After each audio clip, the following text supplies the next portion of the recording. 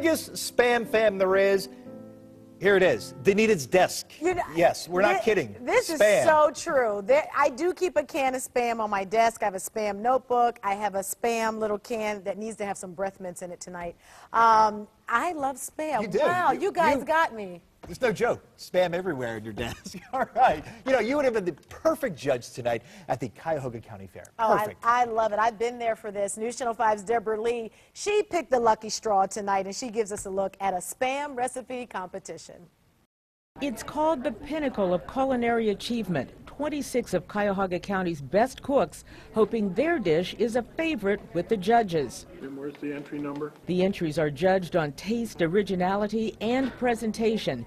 Up to 10 ingredients are allowed, as long as one of them is spam. That's right, spam. I've been eating spam since I've been about yay high. My mom used to uh, just fry it up uh, in a frying pan. These cooks have brought spam a long way since then with their entries in the Great American Spam Championship. Spam chili, fried spam shish kebabs. Stuffed cabbage. I stuff things. The competition's a favorite at the Cuyahoga County Fair, and it's serious. Nine-year-old Michael here burned his finger grilling his shish kebabs, but he says it's all for a good cause. I wanted to raise money to go to the orphanage, the Berea one next to this place. Michael took second place, and 12-year-old Gavin and his spam chiladas placed first in the kids division.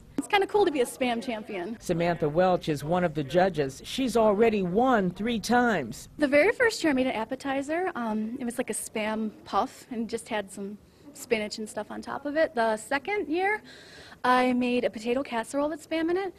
And the third year, I made a hash brown stack. Now, as most of you already know, spam is one of Danita's favorite foods. And so, my friend, this can's for you. In Berea, Deborah Lee, News Channel 5. Man, and I will take it, Deb, and cook it up real nice. Thank